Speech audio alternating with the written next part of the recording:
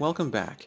In this video, we're going to talk about the different states that our item can be in and describe them so that we understand why we need each state in the new enum that we're going to create for our item called item state. So the first state we're going to be concerned with is the equipped state. This is the state we're familiar with because our character already has a weapon equipped. We've spawned a default weapon and attached it to the right hand socket we've created and we're going to consider this to be the equipped state for our weapon. So it's going to be held in our hand. That means it's attached to the socket. The collision for the weapon should be turned off. We don't need it to collide with anything in the world. This also means that the area sphere and the collision box are not going to respond to any sort of line trace or any other sort of collision. The equipped weapon variable will hold a reference to it, so there will only be one equipped weapon at a time, and we can always access that through our equipped weapon variable. The next state we're interested in is the pickup state. This is when the item exists as a pickup in the world.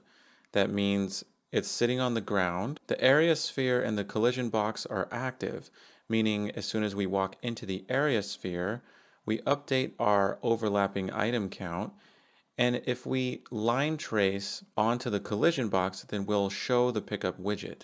It will not be attached to anything. It's just going to be sitting down on the ground. Now the next state is going to be called equip interping. To describe this state, I'm going to show you what we're going to implement in future videos for the item class. Here we have several weapons sitting on the ground. Now ignore the fancy flashing colors. We're going to implement those in future videos. What I want you to pay attention to is what happens when I pick up a weapon. So I'm going to pick up this SMG here and notice it flew up to my face when I picked it up. It came up right in front of the camera and flashed for a second and then it was inserted here into my inventory. Let's try this again. I'm going to pick up another weapon and there it was, it flew up to my face. So what it's doing is it's interpolating its location. So when the item is flying up to our face like this, we're going to call this equip interping because we're equipping the item, but there's this short period of time between the time we picked it up and the time it's inserted into our inventory and that's when it's flying up to our face, interpolating its position. So that's going to be the state we call equip interping. So for the equip interping, we're picking up the item. It's flying up into our face. We're interpolating its position. The collision should be turned off because we don't need it to be interacting with anything it's essentially just showing us what we're picking up. So even though we're going to implement this in a future video, this will be one of the states that we'll have in our enum. The next state that we're concerned with is the picked up state. That's when we've already picked up the item, whether it's a weapon or something else, and so we are not holding the item and it's not equipped in our hand. That would be the equipped state. This is when we already have an item in our hands and we're picking up an additional item and sticking it into the inventory. The collision should be off. In fact, visibility should also be off. We shouldn't even be able to see this item.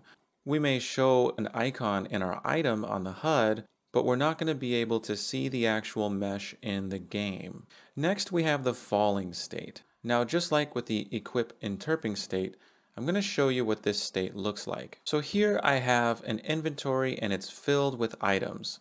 Now again, we're going to implement all this in future videos, so don't worry about not having an inventory just yet. But since my inventory is filled with items, as soon as I pick up this weapon here, it's going to replace my equipped weapon, and so I'm going to drop the equipped weapon. Watch closely. There, see, it fell to the ground. That was the weapon I was holding in my hands before, and now I'm holding that assault rifle that I was looking at. Let's pick up this SMG, and there, we swapped weapons, and there's the assault rifle. So as I pick up a weapon, if my inventory is full, I don't have anywhere to put it. So I'm going to take my currently equipped weapon and swap it out and throw down what I was equipping onto the ground. Now, while the weapon is falling onto the ground, I'm going to call that the falling state. So there's a short period of time where it's falling to the ground. Now, as soon as it hits the ground, then that's going to be in the pickup state, and it'll be ready to pick up again. But until that happens, it's on its way to the ground, and that's going to be the falling state. So when it's in the falling state, we are dropping the item. The item has not yet hit the ground, it's on the way to the ground. Now, as far as collision is concerned, it should be set to block the floor, so that way it will not fall through the floor, but bounce off of it. But the area sphere and the collision box should be turned off because we don't need that functionality to be active. It's simply falling to the ground. So in summary, we have five states for our item. We have the equipped state, which is where we've already equipped it. It's in our hands. It's attached to our hand socket. We have the pickup state, where it's just sitting on the ground, ready to be picked up. We have equip interping, which is where we're picking up the item and it's flying up to our face, interpolating its position. We have the picked up state, which is where we've picked it up, but we're not equipping it. It's just sitting in our inventory.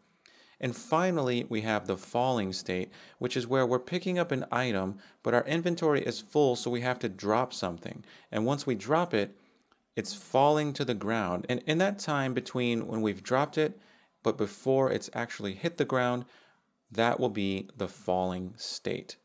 So those are the states that we're going to want for our item. Now we're ready to define that enum in our item class. So we'll do that in the next video.